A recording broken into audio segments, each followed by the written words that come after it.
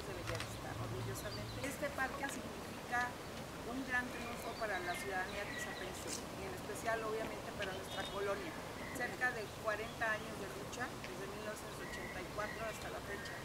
A nosotros nos tocó finalizar y dar el, empuje más fuerte. Y, y queremos ser un ejemplo para Tizapán y para defender nuestras áreas verdes. Desde el año de 1984 se entregó públicamente una superficie de 7.520 metros cuadrados a cuenta de las áreas de donación que la desarrolladora Residencias Modernas S.A. se comprometió. Eh, como ustedes saben, eh, a pesar de que teníamos más de 30 años eh, en poder de este parque, desde el 2015, ahorita vamos a hablar un poco del juicio, Frisa demandó a través de un juicio reivindicatorio la posesión y la propiedad del parque. Este juicio, como vamos a ver enseguida, empezó en el 2015. Desde, el, desde 1970, estas dos empresas del Grupo FISA tenían la obligación de hacer la donación. Por alguna situación esta donación no se ha llevado a cabo y al no llevarse a cabo, pues estos lotes seguían apareciendo a nombre de las fracciones. En este mismo año, seguido los trámites de ley y por resolución de un tribunal federal, se ordenó reponer el procedimiento señalado para llamar a este juicio como terceros a la empresa Fraccionadora Bellavista, S.A. y Gobierno del Estado de México. Repuesto que fue el procedimiento, finalmente en el mes de agosto de 2018, en segunda instancia, el juez séptimo de los civiles del distrito de Tlanepantla, Estado de México, con residencia en Atizapán de Zaragoza, el licenciado Pedro Fernando Sánchez Espinosa de los Monteros, dictó nueva sentencia en la que en forma arbitraria determinó que ahora sí se acreditó la propiedad de los inmuebles objeto del juicio por parte de residencias modernas. Esta sentencia lo que nos decía es que teníamos que desalojar el parque y entregárselo a residencias modernas. Sin embargo, eh, derivado de lo anterior, el miércoles 12 de septiembre de 2018 interpusimos recurso de apelación en contra de la sentencia referida, misma que fue resuelta por la Honorable Segunda Sala Civil Colegiada de Tlanepantla, Estado de México, se nos absolvió de entregar el parque. Residencias Modernas interpuso demanda de amparo en contra de la sentencia que se refiere en el tribunal inmediato anterior, misma que tocó conocer al Honorable Segundo Tribunal Colegiado en Materia Civil del Segundo Circuito, bajo número 907, diagonal 2018, en el cual se negó el amparo y protección de la justicia de la Unión a la quejosa Residencias Modernas, reconociendo la legítima posesión del parque a la Asociación de Colonos y Residentes de Lomas de Bellavista y negando la procedencia de la acción reivindicatoria en virtud de tratarse de una acción de naturaleza civil y la posesión que se detenta tiene su origen en un acto administrativo. Originalmente la desarrolladora se obligó a dar 25 mil metros cuadrados, de los cuales no ha dado ningún metro cuadrado, salvo los 7.520 metros que corresponden al parque. Que las áreas de donación no solo son eh, áreas verdes, ¿no? también constituyen equipamiento urbano o cosas de esa naturaleza, lo cual en donde quieren o pretenden la inmobiliaria dar estas áreas de donación, pues evidentemente no, no les servirían de nada al fraccionamiento. Eh, miren, eh, por lo que hace la formalización del inmueble de 7.520 metros cuadrados que, conforma el famoso parque, eh, hay que iniciar acciones en vía administrativa, ya sea del gobierno del Estado, por conducto de su Secretaría de Gobierno, y a la legislatura local del Estado de México. Esto con el fin de que en un momento dado se obtenga lo que ha ocurrido en otras fracciones de la misma poligonal, que fue eh, a través de un decreto del gobierno del Estado, se ha expropiado ese, ese polígono para que quede a favor del dominio público. ¿no? ¿Por qué? Porque bien como eh, lo refieren, o, al darse por hecho que se tiene que continuar con esta parte de la donación, pues partimos de que en el registro público actualmente sigue apareciendo el predio o los predios, porque son varios lotes que conforman este polígono a favor de la desarrolladora. Entonces, esas serían las acciones que habría que intentar.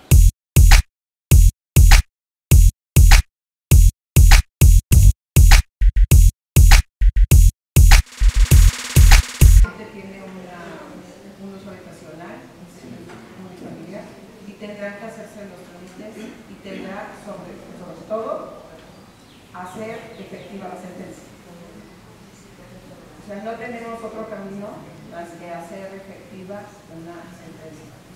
Aquí está la sentencia, esta es la sentencia y es donde se está eh, definiendo que son áreas verdes que es este, digamos, el, valor de esta sentencia. derivado de estas resoluciones que obtuvimos eh, a través de las instancias jurisdiccionales que ya se comentaron, ya, quedó determinado que la comunidad Lomas de Bellavista es la que detenta la legítima posesión de este inmueble, a cuenta de eh, las áreas de donación que tenía la obligación la desarrolladora de haber entregado con motivo de esa autorización que inicialmente se le hizo por el gobierno del Estado.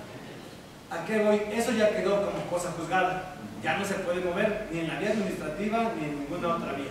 ¿Por qué? Porque ya no fue recurrido, ya se juzgó en definitiva por eh, autoridad jurisdiccional y eso ya no puede ser modificado ni por tanto pudiera entrar el tema de la permuta, aunque no dudaría que ellos lo quisieran intentar, sin embargo no sería viable dado que existe la fuerza jurídica de la cosa juzgada.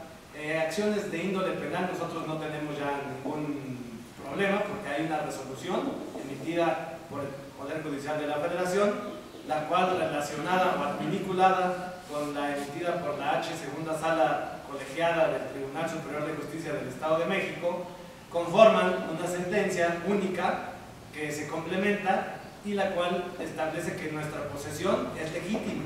Vamos, no venimos e invadimos predios eh, particulares, ¿no? Como pudiera haber ocurrido eh, un despojo. Entonces, al tener esta protección de estas resoluciones, pues no, no incurrimos ninguno nosotros en ningún ilícito penal. Por el contrario, si la fraccionadora quisiera intentar un nuevo procedimiento civil o un nuevo procedimiento eh, a través de argucias legales, sí correrían el riesgo de ser denunciados por fraude procesal. Nosotros lo vamos a gestionar directamente ante el gobierno del Estado y la legislatura local. ¿Por qué es así? porque en su momento el ayuntamiento de Atizapán fue llamado a ese juicio y en el juicio ellos manifestaron no tener ningún interés en el predio, dado que era un, predio particular.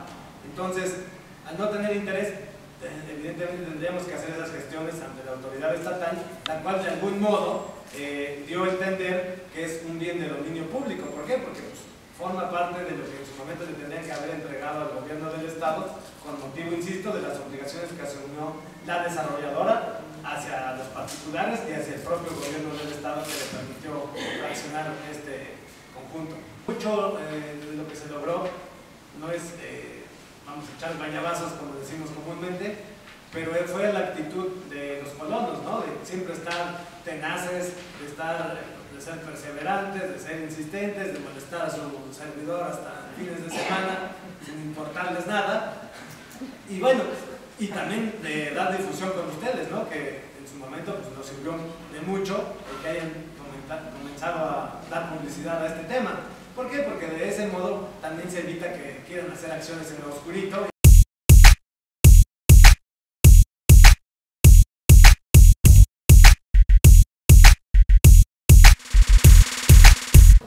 Y esa es nuestra nueva misión, dejar este parque ya totalmente regularizado para que no haya ya ninguna amenaza que atente contra estas áreas verdes y que, pues ustedes saben, ya son pocas las áreas verdes que existen aquí en, Atizapán y en la zona metropolitana, la vamos a seguir defendiendo y vamos a, procurar y hacer lo imposible para que esto ya quede regularizado. Yo quiero decirles que nos hemos enfrentado contra un gigante inmobiliario, se dice por ahí que las, eh, los fraccionadores tienen un porcentaje no hablo solamente de Frisa, sino de en general todas las fraccionadoras, pues son propietarias de más del 10 o 20% del territorio nacional. Entonces imagínense ustedes el poder económico, político que tienen. Sin embargo, pues un juicio bien llevado, un juicio con el apoyo de vecinos, con el liderazgo de, líderes sociales, con muchísimas cosas, pues es lo que nos ha dado este resultado hacia nosotros. ¿no?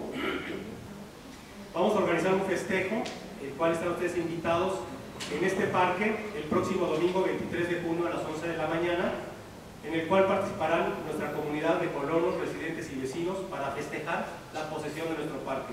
Sabemos que esto es un gran triunfo, es un esfuerzo de muchos eh, vecinos, de muchos grupos, de muchas personas que han estado de la mano de esta, de esta lucha.